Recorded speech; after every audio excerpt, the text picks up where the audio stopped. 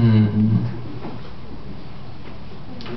Do you are you guys familiar with the um, game show The Price is Right? Yeah. Yeah? Bob Barker, The Price is Right, Showcase Showdown. We've got the same shit in Europe as well. Oh, good.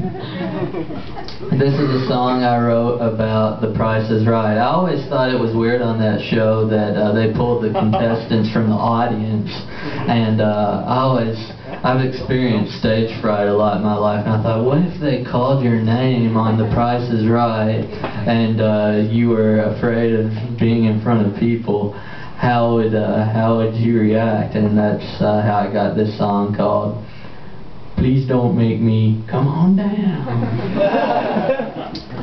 One day I was in the studio audience of The Price is Right.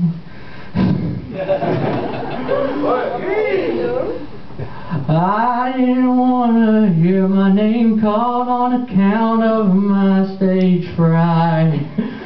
But sure enough, when it was time to come on down, fucking Rod Roddy called my name. I nearly hid underneath my seat, but it was far too late. It was time to play the bidding game. Hmm. So then they get, you have to bid.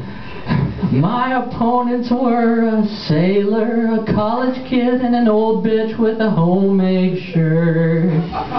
We had to guess how much a bumper pool table was worth. I only bid a nickel thinking surely I'd be safe. Surely I'd be safe, they wouldn't call my name.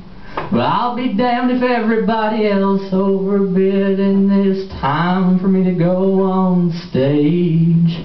So now he has to go on stage, it backfired on him.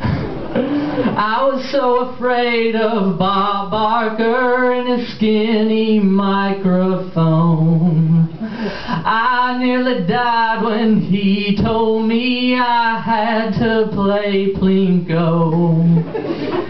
But as the Plinko chips fell from my shaking hands, something wonderful was happening. I, I never felt so free, so full of fleeting life. I never felt like such a king.